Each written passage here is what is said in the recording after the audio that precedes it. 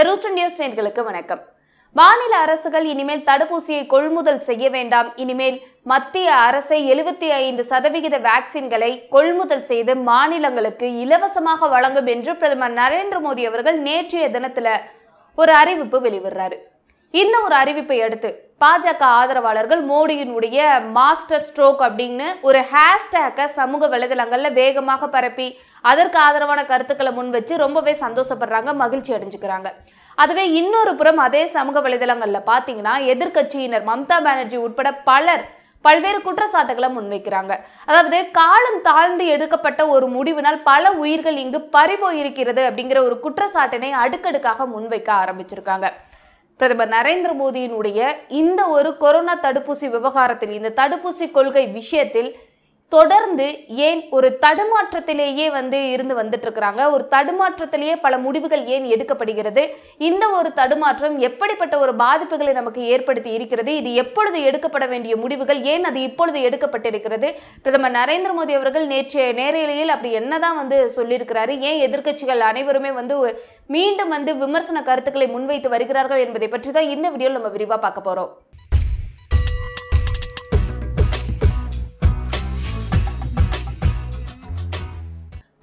Virus மட்டுமின்றி இது போன்ற கொள்ளை நோய் காலகட்டத்தில் ஒவ்வொரு நாளும் ஒவ்வொரு நிமிடமும் மிக முக்கியமான நேரம் அப்படின்னு தான் சொல்லணும். மத்திய அரசின் பணம் மாநில அரசின் பணம் என்று ஒவ்வொரு விஷயமும் முக்கியமான அம்சமாக இருந்துட்டு இருக்கு சரியான ஒரு இலக்கு நிர்ணயித்து இந்த நேரமும் சரி பணமும் சரி செலவிடப்பட வேண்டிய ஒரு காலகட்டமாக இந்த ஒரு பேரிடர் காலகட்டமானது இருந்து வந்துட்டு இருக்கு ஆனா இந்த மத்திய அரசு அப்படி நடந்து கொள்கிறது அப்படிங்கிற கேள்விகள் தான் முன்வைக்கப்படுது.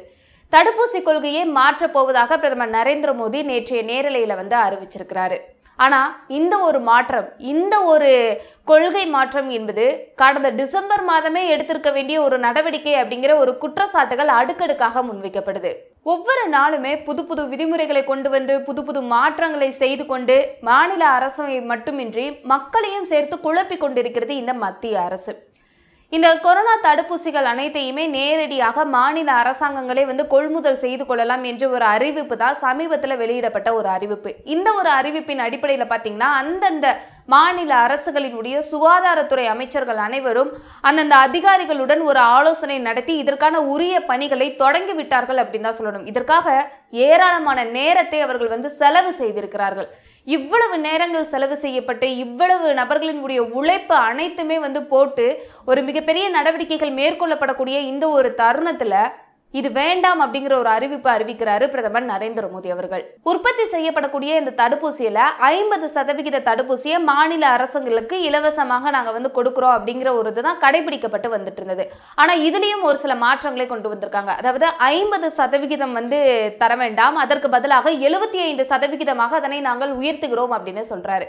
மீதம் இருக்கக்கூடிய இந்த இருபத்தி ஐந்து சதவிகிதம் வந்து தனியார் மருத்துவமனைகள் தங்களுக்கு தேவைப்பட்ட அந்த தடுப்பூசிகளை நேரடியாகவே வாங்கிக் கொள்ளலாம் அப்படிங்கிற ஒரு அறிவிப்பு அறிவிச்சிருக்காங்க. இது ஒன்று மிகப்பெரிய ஒரு அறிவிப்பு அப்படின்னு நம்ம வந்து எடுத்துக்கொள்ள முடியாது. மாநில அரசுகள் தடுப்பூசிக்கென்று எந்த ஒரு செலவும் செய்ய தேவையில்லை அப்படிங்கிற ஒரு அறிவிப்பு சொல்லியிருக்காங்க ஏன் இதை வந்து மிகப்பெரிய அளவில் ஒரு மிகப்பெரிய அறிவிப்பாக எடுத்துக்கொள்ளக்கூடாது அப்படின்னு சொல்கிறேன்னா இதற்கு முன்னதாகவும் இதே போன்ற ஒரு அறிவிப்பு தான் அறிவிச்சாங்க. ஆனால் திடீரென்று வேறு மாதிரியாக அதனை வந்து மாற்றி சொன்னாங்க. அதாவது பதினெட்டு வயதுக்கு மேல் நாற்பத்தி நான்கு வயதிற்கு உள்ளே இருக்கக்கூடிய இந்த ஒரு நபர்களுக்கு அந்தந்த மாநில அரசாங்கங்கள் தான் தன்னுடைய அந்த தடுப்பூசி வழங்கக்கூடிய பொறுப்பை வந்து எடுத்துக்கொள்ள வேண்டும் அப்படிங்கிற ஒரு அறிவிப்பை அறிவிச்சாங்க. ஏன் இதை ஒரு மிகப்பெரிய அறிவிப்பு கிடையாது அப்படின்னு சொல்லப்படுதுன்னா மாநில அரசாங்கங்கள் தடுப்பூசி விவகாரத்தில் எந்த ஒரு செலவும் செய்ய தேவையில்லை என்ற ஒரு அறிவிப்பு தான் மத்திய அரசாங்கத்தினுடைய அந்த முதல் அறிவிப்பாக இருந்தது. அதாவது முன்பு அறிவிக்கப்பட்டிருந்த இந்த அறிவிப்பு.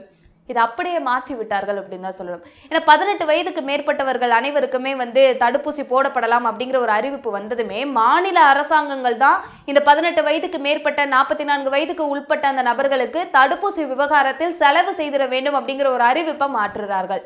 இது எப்போது இப்படி மாற்றினார்கள்? இந்த கொள்கை எப்படி மாற்றப்பட்டது என்பது குறித்து எந்த ஒரு தகவலும் கிடையாது.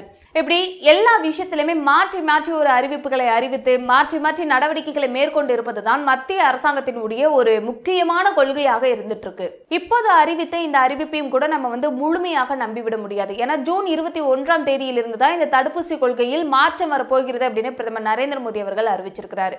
ஆனா இந்த ஒரு மாற்றம் என்பது ஓராண்டு காலத்திற்கு முன்னதாகவே வர வேண்டிய ஒரு மாற்றம்ங்கிறது தான் இப்போ முன்வைக்கக்கூடிய முக்கியமான குற்றச்சாட்டாக இருந்துட்டு இருக்கு. ஏன்னா கடந்த டிசம்பர் மாதமே நம்மக்கிட்ட ரெண்டு தடுப்பூசிகள் கையிருப்பில் இருக்க போகிறது என்ற ஒரு தகவலை மத்திய அரசாங்கம் நன்கு தெரிந்து வைத்திருக்கிறது. அப்படி இருக்கும் பொழுது நம்மிடம் தடுப்பூசிகள் இருக்கிறது அது கையிருப்பில் இருக்கிறது என்று தெரிந்ததுமே அதில் ஏன் இவ்வளவு ஒரு காலதாமதமானது ஏற்பட்டிருக்கிறது அதனை நடைமுறைப்படுத்துவதில் அப்படிங்கிற ஒரு கேள்விகள் முன்வைக்கப்படுகிறது. இப்படி காலதாமதம் ஆக்கப்பட்டது மட்டுமல்லாமல் பாதிப்புகள் அதிகமானதற்கும் மிக முக்கிய காரணமாக மத்திய அரசாங்கம் மட்டும்தான் இருந்து கொண்டிருக்கிறது அப்படிங்கிற ஒரு குற்றச்சாட்டுக்கும் ஆளாகி இருக்கிறது. இப்படி தொடர்ந்து பல விமர்சனங்களுக்கு பல உலக நாடுகளில் இருந்து வந்த அந்த ஒரு அழுத்தம் பல தரப்புகளில் இருந்து கொடுக்கப்பட்ட அந்த விமர்சனங்களுக்கு பதில் சொல்ல முடியாமல் தான் தடுப்பூசி கொள்கையில் ஒரு மாற்றத்தை கொண்டு வந்திருக்கிறது மத்திய அரசு அப்படிங்கிற ஒரு குற்றச்சாட்டுகளும் மருத்துவர்களால் முன்வைக்கப்படுது. ஒட்டு மொத்தமாகவே இந்த தடுப்பூசி செலுத்துவதில் மத்திய அரசாங்கம் ஒரு சரியான நடவடிக்கைகளை மேற்கொள்ளவில்லை அப்படிங்கிற ஒரு விமர்சனங்கள் தான் முன்வைக்கப்பட்டிருக்கு. இந்தியாவிலும் தமிழ்நாட்டிலும் பார்த்தீங்கன்னா இந்த உருமாறிய கொரோனா வைரஸ் அப்படின்னு சொல்லப்படக்கூடிய இந்த வைரஸ் கிட்டத்தட்ட எழுபது சதவிகிதம் அளவிற்கு பரவி விட்டது அப்படின்னு சொல்லப்படுகிறது. ஏராளமான பாதிப்புகள் இறப்புகள் என்று ஏற்பட்டு வந்துட்டு இருக்கு இப்படி இருக்கக்கூடிய இந்த ஒரு காலகட்டத்தில் இந்த கோவேக்சின்கிற தடுப்பூசி இதனை குணப்படுத்துமா இல்லை இதனுடைய தாக்கத்தை குறைக்குமா என்பது குறித்து எந்த ஒரு தெளிவான காரணங்களும் கூட இல்லை.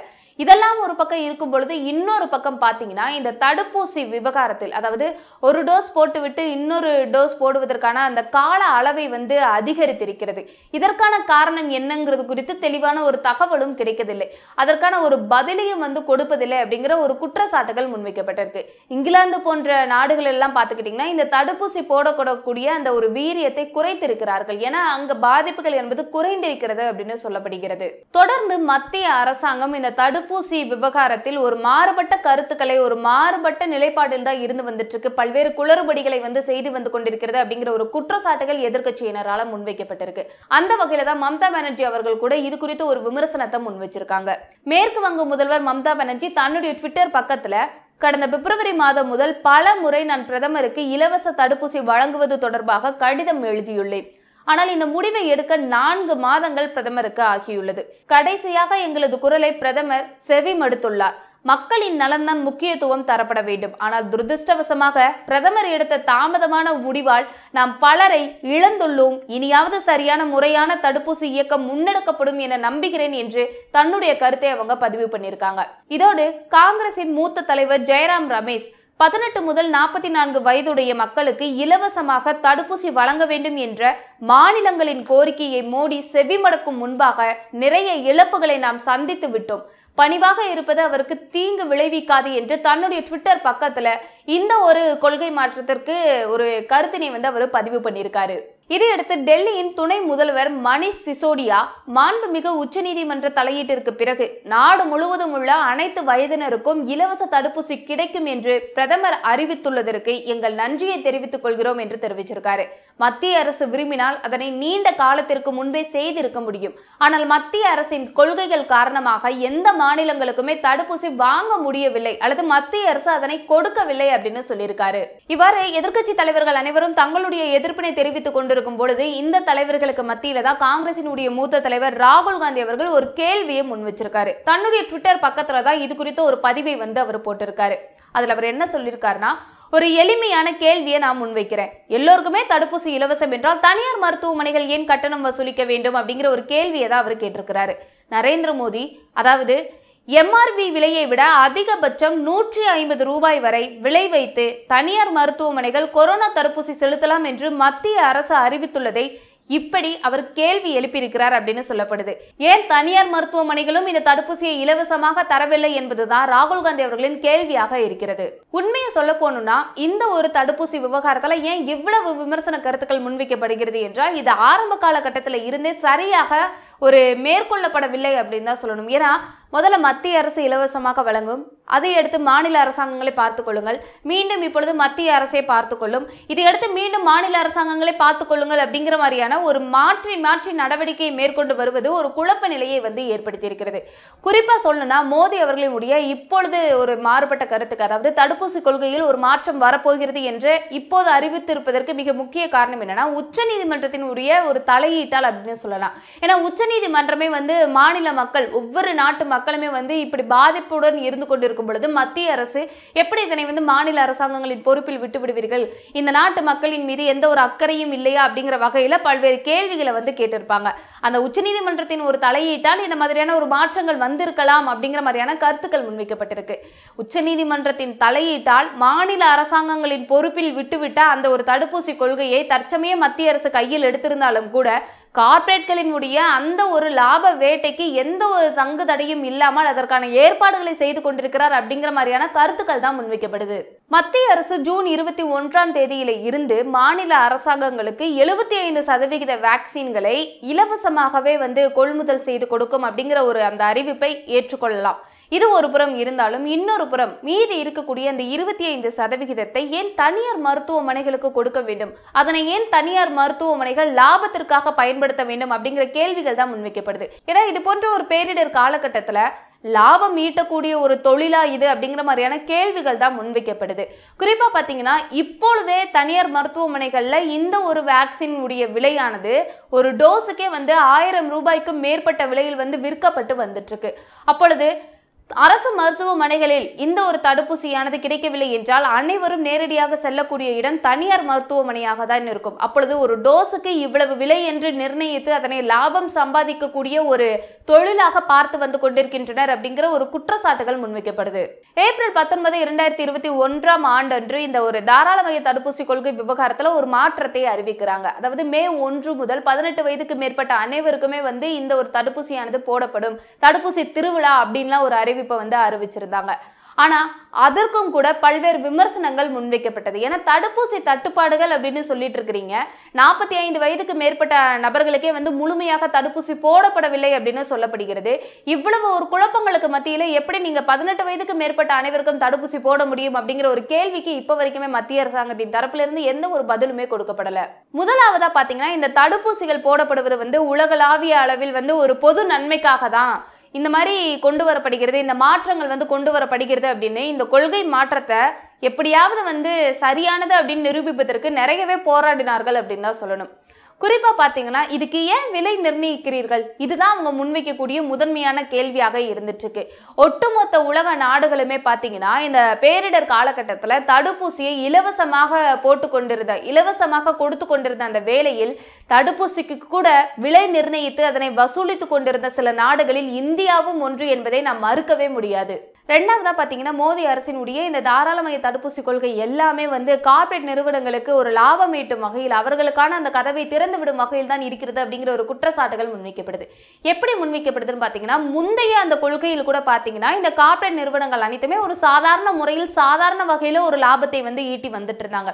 அவர்கள் எப்படியோ லாபத்தை ஈட்டி வருவது என்பது உண்மையாக இருந்தாலும் கூட ஒரு சாதாரணமாக அதாவது ரொம்ப அதிகமாக இல்லாமல் நடுத்தரமான ஒரு லாபத்தை வந்து அவங்க ஈட்டி கொண்டு வந்துட்டு இருந்தாங்க. ஆனா இந்த மாற்றப்பட்ட புதிய கொள்கை மாற்றத்துல நீங்க பாத்தீங்கன்னா அந்தந்த கார்ப்பரேட் நிறுவனங்கள் தனியார் மருத்துவமனைகள் அனைத்துமே சுயமாக ஒரு விலையை தடுப்பூசிக்கு நிர்ணயித்து கொண்டு அதன் மூலமாக ஒரு லாபத்தை அவர்கள் ஈட்டி கொண்டு வந்துட்டு இருந்தாங்க. அதாவது ஒரு டோஸுக்கே நீங்கள் ஆயிரம் ரூபாய் என்றால் எத்தனை நபர்களிடம் அவர்கள் எவ்வளவு சம்பாதித்திருப்பார்கள் அப்படிங்கிற ஒரு கேள்விகள் தான் முன்வைக்கப்படுது. மூன்றாவதாக பார்த்தீங்கன்னா இந்த தாராளமய தடுப்பூசி கொள்கையின் விவகாரத்தின் காரணமாக தடுப்பூசி சந்தை என்பது சிதைந்து விட்டது. மத்திய மாநில அரசுகள் மற்றும் தனியார் மருத்துவமனைகளுக்கு இடையேயான ஒரு வீணான போட்டியை ஊக்குவிப்பதன் மூலமாக சந்தையை வந்து சிதைந்து விட்டது அப்படின்னு தான் சொல்லணும். இந்த சந்தையினுடைய அந்த தரம் என்பது குறைந்து விட்டது இதனுடைய வெளிப்படைத்தன்மை என்பது குறைந்து விட்டது இதனுடைய சமத்துவமின்மை என்பது குறைந்து விட்டது இப்படி ஏராளமான விஷயங்கள் குறைந்து விட்டது அப்படின்னு தான் சொல்லணும். அதோடு மட்டுமல்லாமல் இந்த புதிய தடுப்பூசி கொள்கை என்பது மாநில அரசாங்கங்களுக்கான அந்த கூடுதல் நிதி பொறுப்பை கொடுத்து விட்டது அப்படின்னு தான் சொல்லணும். அதோடு மட்டுமல்லாமல் ஏப்ரல் பத்தொன்பதாம் தேதி அன்று இந்த தாராளமய தடுப்பூசி கொள்கையில் ஒரு புதிய அறிவிப்பை மோடி அறிவித்ததற்கு மிக முக்கிய பின்னணி ஒன்று இருக்கிறது. ஏன்னா அந்த காலகட்டத்தில் பார்த்தீங்கன்னா நமக்கு தடுப்பூசி பற்றாக்குறையானது ஏற்பட்டுட்டு இருந்தது தடுப்பூசியே இல்லை. எங்கு சென்றாலும் வந்து தடுப்பூசி இல்லை அப்படிங்கிற ஒரு பதில் மட்டும்தான் இந்த மக்களுக்கு கிடைத்து கொண்டிருந்தது. இதனால அனைவருமே வந்து மத்திய அரசின் மீது ஒரு மிகப்பெரிய கோபத்தில் இருந்து வந்துட்டு இருந்தாங்க குறிப்பாக நாட்டு மக்கள் அனைவரும். ஏன் மத்திய அரசாங்கத்தின் மீதுனா மத்திய அரசாங்கம் தான் இந்த தடுப்பூசியை கொள்முதல் செய்து மாநில அரசாங்கங்களுக்கு விநியோகம் செய்து வந்துட்டு இருந்தது அப்போ இந்த ஒரு முறையை மாற்ற வேண்டும் அப்படிங்கிற ஒரு எண்ணத்தை கருத்தில் கொண்டுதான் ஒட்டுமொத்தமாக இந்த தடுப்பூசி விவகாரத்தில் விநியோகத்திற்கான பொறுப்பை அதனை கொள்முதல் செய்ய வேண்டும் அப்படிங்கிற ஒரு பொறுப்பை மாநில அரசாங்கங்களின் தலையிலே வந்து நாங்கள் போடுகிறோம் அப்படிங்கிற ஒரு அறிவிப்பை பிரதமர் நரேந்திர மோடி அன்றைய தினத்தில் அறிவிச்சாரு. இப்படி மாநில அரசாங்கங்களின் பொறுப்பில் இவை அனைத்தையும் ஒப்படைப்பதன் வாயிலாக ஒட்டுமொத்த நாட்டு மக்களுமே இப்ப நிலவி வந்துட்டு இருக்க பற்றாக்குறை பிரச்சனை அனைத்திற்கும் காரணம் மாநில அரசுதான் என்று அவர்களை விமர்சிக்க சென்று விடுவார்கள். மத்திய அரசு இதிலிருந்து வெளிவந்து விடலாம் என்ற ஒரு காரணத்திற்காக தான் இதனை திசை திருப்புவதற்காக எடுக்கப்பட்ட ஒரு நடவடிக்கை தான் ஏப்ரல் பத்தொன்பது தடுப்பூசி கொள்கை விவகாரத்தில் கொண்டு வரப்பட்ட அந்த ஒரு மாற்றம்.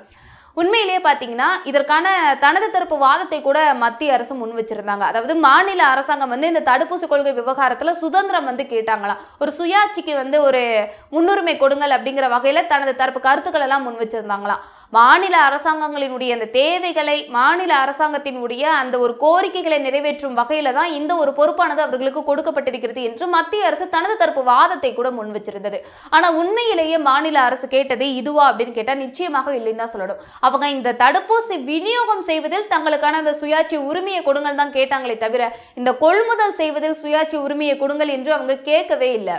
ஆனா உண்மையை சொல்ல போனோம்னா இந்த மாற்றப்பட்ட கொள்கை விவகாரத்துல மே மாதம் வர வரதான் மத்திய அரசுக்கு மீண்டும் ஒரு தலைவலியானது ஏற்பட்டது அப்படின்னு சொல்லணும். ஏன்னா மாநில அரசாங்கங்கள் அந்தந்த நிறுவனங்களிடம் இருந்து நேரடியாக கொள்முதல் செய்ய முடியவில்லை. அவர்கள் அந்த ஒரு விவகாரத்தில் தோல்வி அடைந்து விட்டார்கள் அப்படின்னு தான் சொல்லணும். குறிப்பாக பார்த்தீங்கன்னா உள்ளூர் உற்பத்தியாளர்கள் கூட இந்த தடுப்பூசி தயாரிக்கும் விவகாரத்தில் தங்களால் எதுவும் செய்ய முடியவில்லை என்று தங்களுடைய இயலாமையை அவர்கள் வெளிப்படையாகவே ஒப்புக்கொண்டார்கள்.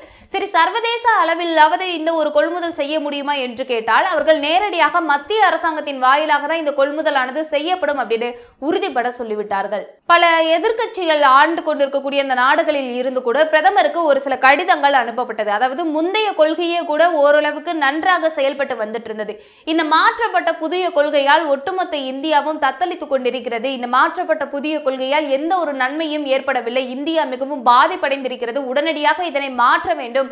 முந்தைய கொள்கைக்கே இது மாற வேண்டும் அப்படிங்கிற அடிப்படையில கோரிக்கைகள் எல்லாம் முன்வைக்க ஆரம்பிச்சாங்க. ரெண்டாவதா பாத்தீங்கன்னா உச்ச நீதிமன்றத்தின் தரப்பிலிருந்து கொடுக்கப்பட்ட ஒரு அழுத்தம் அப்படின்னு தான் சொல்லணும். அத்தியாவசிய உணவுப் பொருட்கள் மற்றும் சேவைகளின் விநியோகம் இந்த ஒரு விஷயத்துல அடிப்படையில தான் இந்த தலைமை நீதிபதி டி ஒய் சந்திரசூட் அவர்களால் ஒரு மனுவானது விசாரணைக்கு முன்வைக்கப்பட்டிருக்கு. இந்த ஒரு தடுப்பூசி கொள்கை விவகாரத்தில் மாற்றப்பட்ட கொள்கை விவகாரத்தின் காரணமாக இந்தியா மிகவும் மோசமடைந்து கொண்டிருக்கிறது. இது வந்து சரியாக செயல்படவில்லை அப்படின்னு தனது தரப்பு வாதத்தை முன்வைத்தது.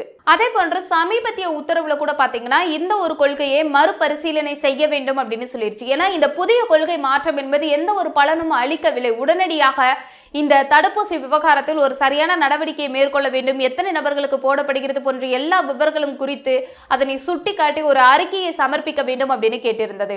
உச்சநீதிமன்றத்தின் தலையீடு பல உலக நாடுகளின் உடைய இந்த ஒரு அழுத்தம் காரணமாக எப்படியோ இந்த தாராளமய தடுப்பூசி கொள்கையில் கொண்டு வந்த மாற்றத்தை முற்றிலும் மறுத்துவிட்டு இது அப்படியே பழைய முறையில் செயல்படும் அப்படிங்கிற ஒரு அறிவிப்பை தான் பிரதமர் நரேந்திர மோடி அவர்கள் நேற்றைய நேரலையில அறிவிச்சிருக்காரு. ஜூன் இருபத்தி ஒன்றாம் தேதி என்று எல்லாமே வந்து மாறிவிடும் அப்படின்னு எதிர்பார்த்தாலும் கூட பிரதமர் நரேந்திர மோடி அவர்கள் நேற்றைய அறிவிப்பில் சிறிய ஒரு கௌரவம் தெரிந்தது போல இருந்தது. அதாவது குறிப்பாக பார்த்தீங்கன்னா எந்த ஒரு வருத்தமும் அவர் தெரிவிக்காதது போன்று இருந்தது. ஏன்னா இந்த ஒரு விஷயத்தை அவர் அறிவிக்கும் பொழுது இந்த தாராளமய தடுப்பூசி கொள்கை விவகாரம் வந்து தோல்வி அடைந்து விட்டது அப்படின்னு அவர் ஒப்புக்கொள்ளவே இல்லை. அதற்கு முற்றிலும் மாறாக மாநில அரசாங்கங்கள் இந்த நேரடி கொள்முதலை வந்து சரியாக கையாளவில்லை. அவர்கள் இதில் தோல்வி அடைந்து விட்டார்கள். அதனால் இதனை மத்திய அரசாங்கமே தன்னுடைய பொறுப்பில் எடுத்துக்கொள்கிறது அப்படிங்கிற மாதிரியான ஒரு அறிவிப்பை தான் அவர் அறிவிச்சிருந்தார். உண்மையை சொல்ல போனோம்னா அவர் செய்த அந்த கொள்கை மாற்ற காரணத்தால் தான் இவ்வளவு பிரச்சனைகளும் ஏற்பட்டிருக்கிறது என்பதை ஏற்றுக்கொள்ள அவரது கௌரவம் மறுத்து விட்டது அப்படின்னு தான் சொல்லணும். உண்மையை சொல்ல போனோம்னா இந்த தடுப்பூசி கொள்கை விவகாரத்துல மாநில அரசாங்கங்கள் இது போன்ற நேரடி கொள்முதல் வேண்டும் என்று எந்த ஒரு கோரிக்கையும் அவங்க முன்வைக்கவே கிடையாது. அதற்கு மாறாக இந்த தடுப்பூசி கொள்கை விவகாரத்தில் கொண்டு வரப்பட்டிருக்க மாற்றத்தை ஏற்றுக்கொள்ள மறுத்து வந்தாங்க.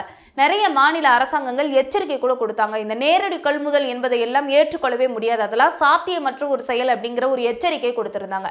தங்களுடைய விருப்பத்திற்கு மாறாக தான் இந்த ஒரு அறிவிப்புகளை ஏற்றுக்கொண்டு அவர்கள் ஏதேனும் முயற்சி செய்ய முடியுமா என்பதற்காக ஒரு சில நடவடிக்கைகளை மேற்கொண்டாங்க. ஆனா அதுவும் தோல்வியில் சென்று விட்டது இப்படி எல்லாத்துக்கும் காரணம் மாநில அரசாங்கம் தான். ஒரு விஷயத்தை சரியாக செய்யவில்லை. அவர்கள் வந்து தோல்வி அடைந்து விட்டார்கள் என்று அவர்கள் தலையில் பொறுப்பை போட்டுவிட்டு இப்பொழுது ஓடி ஒளிந்து கொள்வது மீண்டும் மத்திய அரசாங்கம் மட்டும்தான் இருந்துட்டு இருக்கு இந்த மத்திய அரசு மீண்டும் மீண்டும் மாநில அரசாங்கத்தை குற்றம் சொல்லி தன்னை காத்துக்கொள்ள முயற்சி செய்து கொண்டிருக்கிறது. இதை எடுத்து பார்த்தீங்கன்னா இருபத்தி ஐந்து சதவிகிதம் தடுப்பூசிகள் தனியார் மருத்துவமனைகளுக்கு ஒதுக்கப்படுங்கிற ஒரு அறிவிப்பை ஏற்றுக்கொள்ளவே முடியாது. ஏன்னா இது வந்து பணக்காரர்களுக்கான ஒரு இடஒதுக்கீடுங்கிற மாதிரி தான் இருந்துட்டு இருக்கு எவ்வளவு தாமதமாக அவர்கள் வந்து தடுப்பூசி போட்டுக்கொள்ள வேண்டும் என்று நினைத்தாலும் கூட அவர்கள் தனியார் மருத்துவமனைகளில் சென்று தடுப்பூசிகளை போட்டுக்கொள்ளலாம். அதற்கான விலையை கொடுத்து அவர்கள் போட்டுக்கொள்ளலாம். அதுல எந்த ஒரு தலையீடும் இருக்காது. தங்கு தடையின்றி அவங்களுக்கு எப்ப போனாலும் வந்து தடுப்பூசி கிடைக்குங்கிற மாதிரியான ஒரு அறிவிப்பாக தான் இருந்துட்டு இருக்கு அரசு மருத்துவமனைகளில் மட்டும்தான் வந்து எல்லாமே இலவசமாக கொடுக்கப்பட வேண்டும் அப்படிங்கிற எந்த ஒரு அவசியமும் கிடையாது. ஏன்னா இது போன்ற ஒரு பேரிடர் காலகட்டத்தில் மருத்துவமனைகள் மருத்துவம் என்பது இலவசமாக கிடைக்க வேண்டும். அந்த மருத்துவத்தில் லாபம் பார்க்கக்கூடிய எந்த ஒரு செயலுக்கும் இந்த அரசு அனுமதிக்க கூடாது அப்படிங்கிறது தான் ஒரு தலையாய கடமையாக இந்த அரசுக்கு இருந்துட்டு இருக்கு இப்படி தனியார் மருத்துவமனைக்கு மட்டும் தனியான ஒரு இடஒதுக்கீடு போன்ற தடுப்பூசிகளை ஒதுக்குவது என்பதை ஏற்றுக்கொள்ளவே முடியாது. தடுப்பூசி இலவசம் என்றால் அது அனைவருக்கும் இலவசம் எல்லா மருத்துவமனைகளிலும் இலவசம். இது போன்ற ஒரு அறிவிப்பு தான் வந்து அறிவிக்க வேண்டும். ஏன்னா இப்பொழுதே பார்த்தீங்கன்னா தடுப்பூசியினுடைய ஒரு டோஸ் விலையை ஆயிரத்தி எட்நூறு ரூபாய் வரைக்கும் தனியார் மருத்துவமனைகளை வந்து விலை நிர்ணயம் செய்யப்பட்டு வந்துட்டு இருக்கு இது மேலும் மேலும் அதாவது மூன்றாவது அலையெல்லாம் வரப்போகிறது அப்படின்னு சொல்லப்படும் இந்த ஒரு நேரத்தில் இதனுடைய வீரியம் அதிகரிக்கலாம் இதனுடைய தேவை அதிகரிக்கலாம். அப்போ தட்டுப்பாடு என்பது அங்கு நிச்சயமாக ஏற்படும். அப்படி தட்டுப்பாடு ஏற்படும் பொழுது இதனுடைய விலை அதிகரிக்க அதிகமான வாய்ப்புகள் இருக்கிறது. மத்திய அரசாங்கம் முழுக்க முழுக்க இந்த தடுப்பூசி விவகாரத்தில் ஒட்டுமொத்தமாக தன்னுடைய முழு பொறுப்பையும் போட்டு நூறு சதவிகிதம் தடுப்பூசிகளை அவர்களே கொள்முதல் செய்து ஒட்டுமொத்தமாக இந்த நாட்டில் இருக்கக்கூடிய அனைத்து மருத்துவமனைகளிலும் தடுப்பூசி இலவசமாக கிடைப்பதற்கான எல்லா நடவடிக்கைகளும் மேற்கொண்டால் மட்டும்தான் இந்த தடுப்பூசி விவகாரத்தில் ஒரு நியாயமான செயல்திறனானது இருக்கும். இந்த தடுப்பூசி சந்தையில் எந்த ஒரு முறைகேடும் நடக்காது. குறிப்பா பாத்தீங்கன்னா ஒட்டுமொத்த நாட்டு மக்களுக்குமே இதன் மூலமாக ஒரு நல்ல எண்ணம். குறிப்பாக இந்த ஒரு விஷயத்தில் அதாவது இது போன்ற பேரிடர் காலகட்டத்தில் இந்த அரசு சரியாக தான் நடந்திருக்கிறது அப்படிங்கிற ஒரு நம்பிக்கையை அப்படிங்கிற ஒரு எண்ணத்தை இந்த மக்களுக்கு விதைக்க வேண்டிய ஒரு தலாய கடமை இந்த மத்திய அரசுக்கு இருக்கிறது என்பதை முன்வைத்துவிட்டு உங்களிடமிருந்து விடைபெறுவது தருஷ் நியூஸ் டீம். மேலும் இது போன்ற செய்திகளுக்கு தருஷ் நியூஸ் சேனலை சப்ஸ்கிரைப் பண்ணவும் நன்றி வணக்கம்